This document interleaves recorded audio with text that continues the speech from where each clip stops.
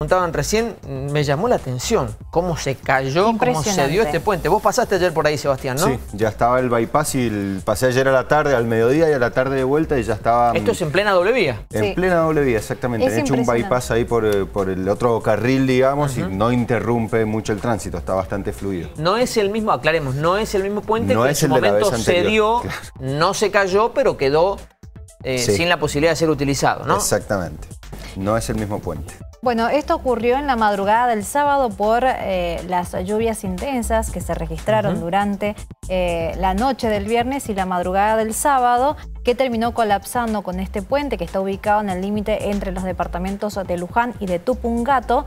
Y desde Defensa Civil lo que dijeron es que fue debido a las intensas lluvias, por supuesto, y además porque, eh, bueno, por los años que tiene este puente, por ya necesita también que sean revisados. Necesitaba antes, ¿no?